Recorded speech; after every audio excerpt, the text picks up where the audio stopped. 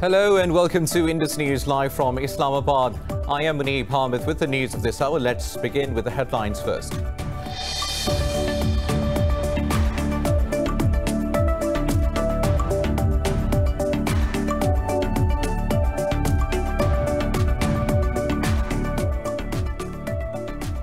The coronavirus has infected over 31 million people, claiming more than 960,000 lives across the globe. The United States is the worst hit country, followed by India and Brazil. India's caseload is nearing 5.5 million, with the death toll approaching 88,000. In Pakistan, four more people have lost their lives to the disease, with the death toll at 6,420.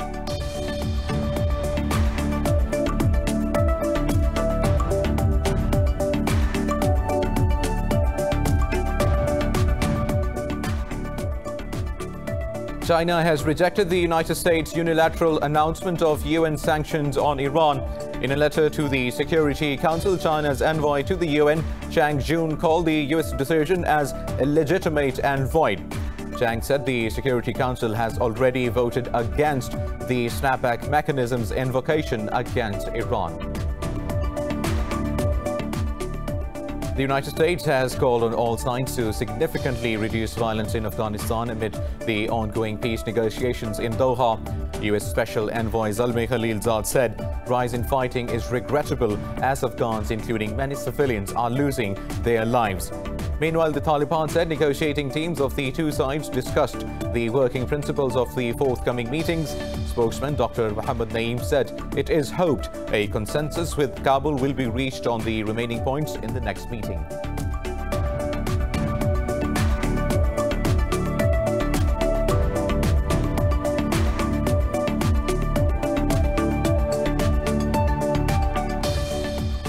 Pakistan has refused the nomination of a senior Indian diplomat for the post of its chargé d'affaires in Islamabad, terming him too senior for the office. In a statement, Foreign Office spokesperson Zahid Hafiz Chaudhry said, by proposing a senior diplomat, India is trying to circumvent the effects of downgrading of diplomatic relations. Following illegal annexation of Jammu and Kashmir region by India last year, Pakistan decided to downgrade its diplomatic relations with India.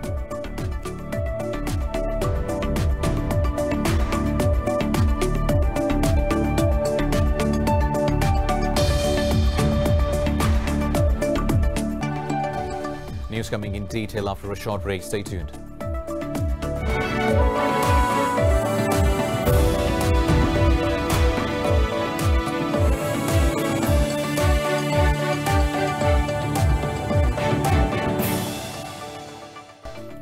Welcome back. Now let's have the news in detail. We start from the coronavirus updates from India, which has infected over 31 million people, claiming more than 960,000 lives so far across the globe. Now, the United States is the worst hit country, followed by India and Brazil.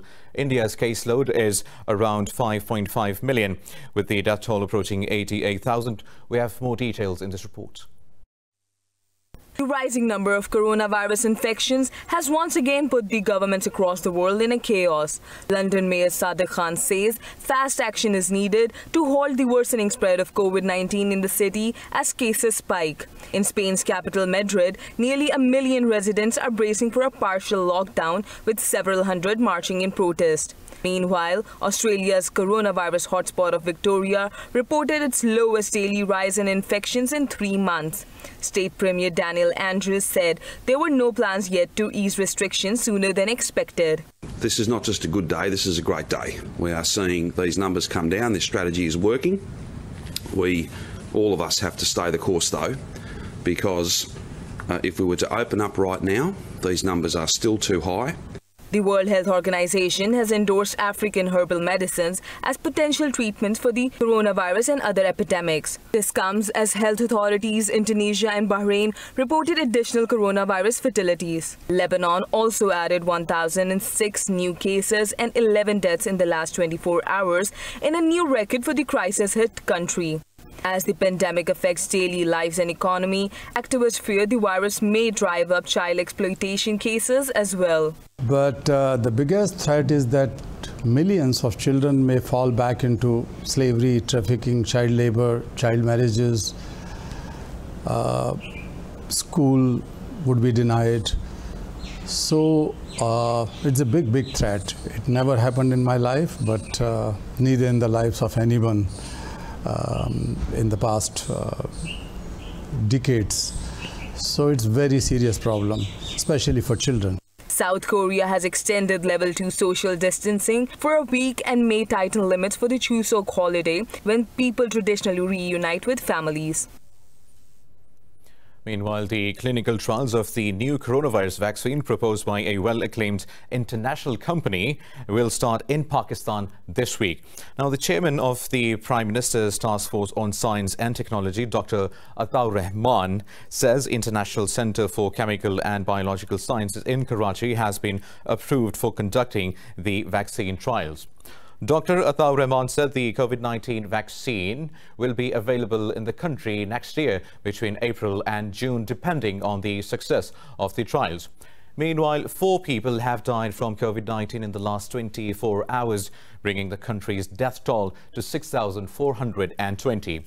The Health Ministry said 633 people tested positive for the virus overnight. It said the country has 7,015 active cases with over 306,000 total confirmed cases. The ministry said over 292,000 people have recovered so far. Meanwhile, China has rejected the United States' unilateral announcement of United Nations sanctions on Iran. In a letter to the Security Council, China's envoy to the UN, Zhang Jun, called the U.S. decision as illegitimate and void. Zhang said the Security Council has already voted against the snapback mechanism's invocation against Iran. He said Washington has no legal grounds to trigger the mechanism unilaterally, especially when it is no longer a party to the Iran nuclear deal. The envoy said China is committed to upholding the efficacy of the nuclear deal and the authority of the Security Council resolutions. Earlier, the U.S. unilaterally declared to reimpose international sanctions lifted from Iran after the 2015 nuclear deal. The United States has called on all sides to significantly reduce violence in Afghanistan amid the ongoing peace negotiations in Doha. United States Special Envoy Zalmay Khalilzad said rise in fighting is regrettable as Afghans, including many civilians, are losing their lives.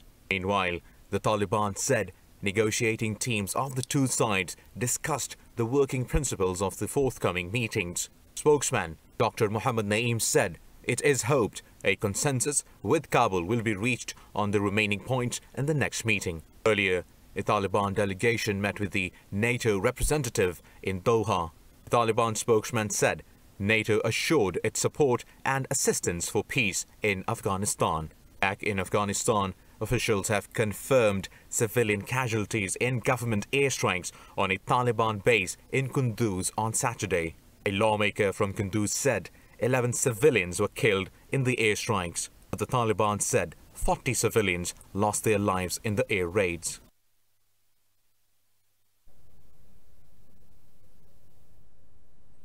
Moving on, Qatar says it stands by the Palestinians and the long-standing conflict with Israel can only be resolved by addressing its root causes. The statement comes days after the signing of the US brokered UAE-Israel normalization deal. Qatar's Foreign Affairs Ministry said it will spare no effort to ease the sufferings of the Palestinians until they get their rights. Doha called for an end to the Israeli occupation and establishment of a sovereign Palestinian state within the framework of the United Nations Security Council resolutions. It said all Palestinian refugees elsewhere should be granted the right to return to their homeland. Recently, Bahrain became the latest Arab country to establish diplomatic ties with Israel, which the Palestinians called a stab in the back. Meanwhile, Russian and Turkish militaries have held a joint training drill in the de-escalation zone in the Syrian province of Idlib. A spokesperson for the De-Escalation Zones Coordination Center said the aim of the drill is enhancing coordination between Turkish and Russian militaries. The drills will prepare the militaries to face emergency situations such as attacking militant convoys, he said coordination of military personnel and the procedure for organizing communication on the route using special signals were worked out. Idlib remains one of the four de-escalation zones in Syria established by Russia, Iran and Turkey back in 2017. Now, Pakistan has refused the nomination of a senior Indian diplomat for the post of its chargé d'affaires in Islamabad, terming him too senior for the office. In a statement, Foreign Office spokesperson Zahid Hafiz said, by proposing a senior diplomat, India is trying to circumvent the effect of downgrading of diplomatic relations. The spokesperson said the news in certain sections of Indian media regarding assignment visa for senior Indian diplomat Jayant Khobragade is misleading. Chaudhry said Pakistan downgraded diplomatic relations with India after its illegal annexation. He said the purpose of downgrading the relations was to register Pakistan's strong protest Chaudhry said Pakistan has counseled India to nominate an officer with seniority commensurate with Pakistan's decision. Meanwhile, 10 people have been killed after a three-story building collapsed in India's southwestern Maharashtra state. The National Disaster Response Force said around 25 others are feared trapped under the rubble. The official said over 40 emergency workers are present at the scene. Witnesses say at least 20 people were rescued by the locals and 31 by the rescue teams. Rescuers also managed to save a child from the rubble. Now, India's parliament has passed a new farm bill with the opposition calling them anti-farmer and pro-corporate. Prime Minister Modi hailed the legislation, saying it was a watershed moment for agriculture in India. But Indian opposition said the new bills will diminish the farmers' bargaining power. Twelve opposition parties also moved a no-confidence motion against the deputy chairman of Upper House of Parliament. They said Hari Vansh Singh violated the parliamentary procedures in trying to pass the farm sector bills in haste. Meanwhile, former Food Minister Harsimrat Kaur said the bills will increase farmers' suffering in Punjab. Many farmer organizations have held street protests in Punjab and the neighboring Haryana state. Meanwhile, world leaders are coming together via video link to mark the 75th anniversary of the United Nations. The commemoration will be held entirely online due to travel and congregation restrictions due to COVID-19. In an interview, UN Secretary General Antonio Guterres said the pandemic has exposed the world's fragilities. Guterres said he will tell the world leaders they need to work together at a time when there is a surplus of multilateral challenges and deficit of solutions. All speeches by the representatives of member countries will be broadcasted in the General Assembly Hall. The theme of the 75-year anniversary is The Future We Want, the United Nations We Need, reaffirming our collective commitment to multilateralism. A youth plenary related to the 75th anniversary will also be held today. Moving on, Japanese Prime Minister Yoshihide Suga and United States President Donald Trump have discussed strengthening their alliance during a phone call. This is Suga's first interaction as the new premier with the U.S. president since taking the office. Speaking to the media afterwards, Suga said a mutual consensus was reached with Trump to further develop the bilateral ties. The new premier said the alliance of two countries was the foundation of regional peace and stability. He said they agree to coordinate closely on issues including the coronavirus situation and North Korea. Earlier in the day, Suga also had a phone conversation with Australian counterpart Scott Morrison. Now in Greece, three people have died as storm Lanos battered central and western parts of the country. The storm triggered landslides, forcing authorities to shut down schools in the area. Emergency services said they received over 2,000 calls for rescue operations throughout Greece. They said 896 rescue missions have been completed so far. Earlier, a medical center and main roads collapsed in the Karditsa region after Lanos caused a river to overflow its banks. Cyclone Lanos uprooted trees and caused power cuts on the Ionian Islands and the western Peloponnese.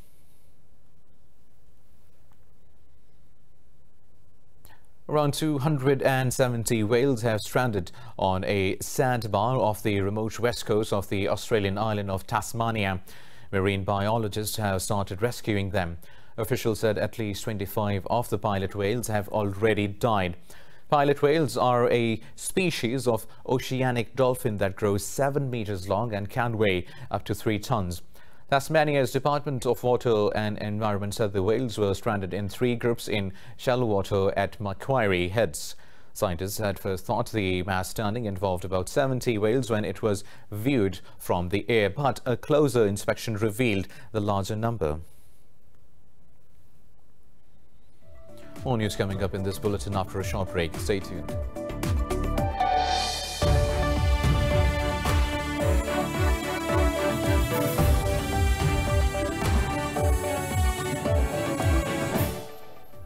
Welcome back now. China's first Mars probe, Tianwen-1, has completed its second orbit adjustment to better continue its flight to the planet. The adjustment came after some deviation of the probe from its orbit after a long time unpowered flight. Chief designer of Tianwen-1 Dong Ji said four engines of the probe worked simultaneously for 20 seconds to complete the adjustment. He said the mission performed the engine startup and shutdown as expected. Xi said they will further evaluate the effects of the orbit adjustment, including accuracy based on the positioning results in the future. So far, the probe has traveled about 160 million kilometers, 19 million kilometers away from the Earth. It will travel for another five months before it approaches Mars. Now, Malaysia ranks as the eighth among the top 10 countries with mismanaged plastic waste in the world. To clean the Malaysian oceans from plastic, some volunteers have taken up a step to gather ocean-bound plastic for recycling. Details in this report. Increasing consumption of single-use plastics has polluted the environment, which is choking marine life and destroying the oceans on the planet. A World Wildlife Fund report says Malaysia is a top plastic consumer in Asia. Some volunteers has taken up the responsibility to clean Malaysia's ocean from plastic. They gather ocean-bound plastic that can eventually be transformed into pellets which are modified into auto parts, home appliances and furniture. They're eventually sold to dozens of companies. Everything is wrapped in plastic these days, so it's incredibly hard.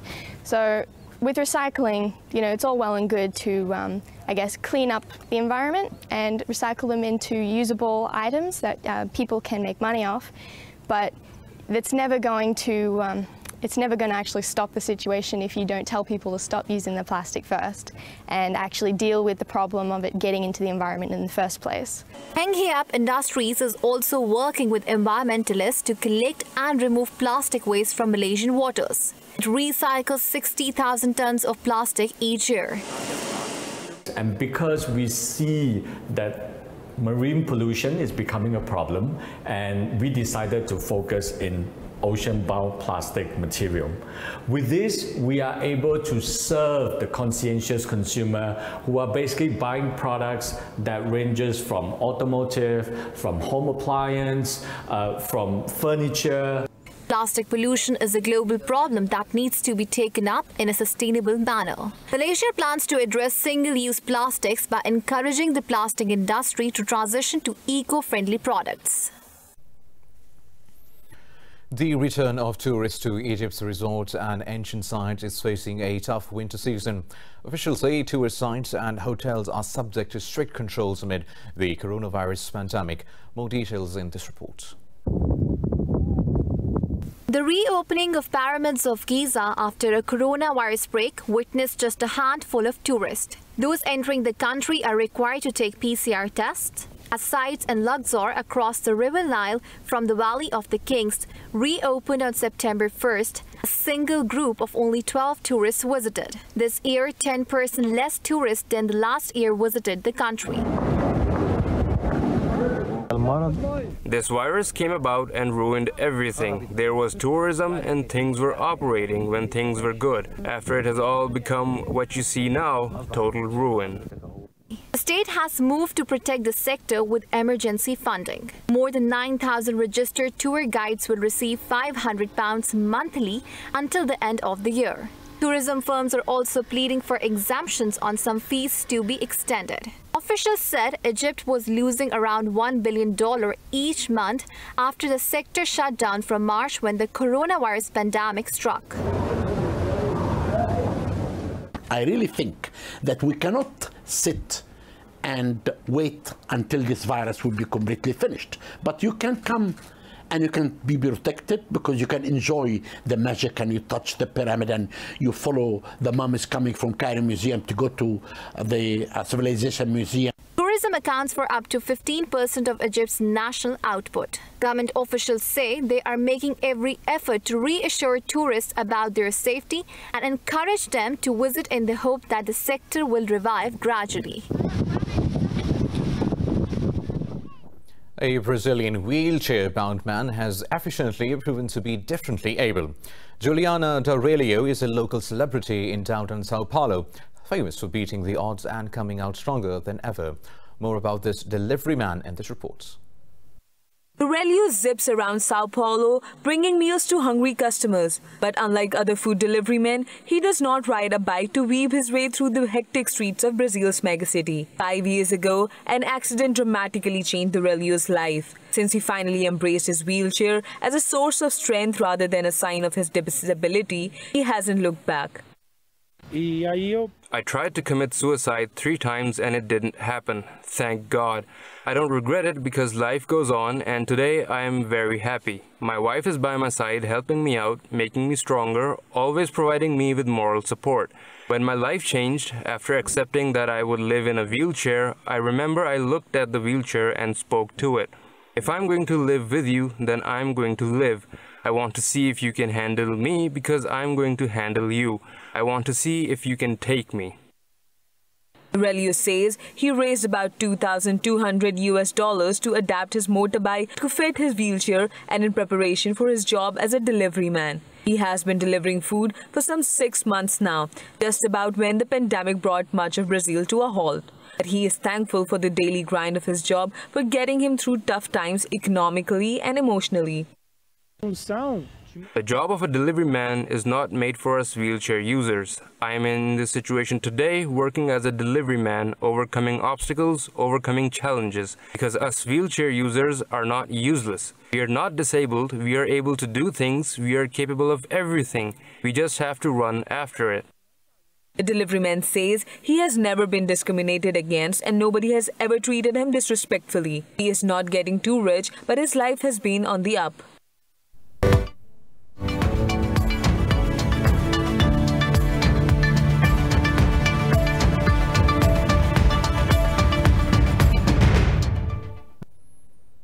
In business stories, European stocks have tumbled as allegations surrounding bank dealings and rising coronavirus infections weigh on market sentiment around the world.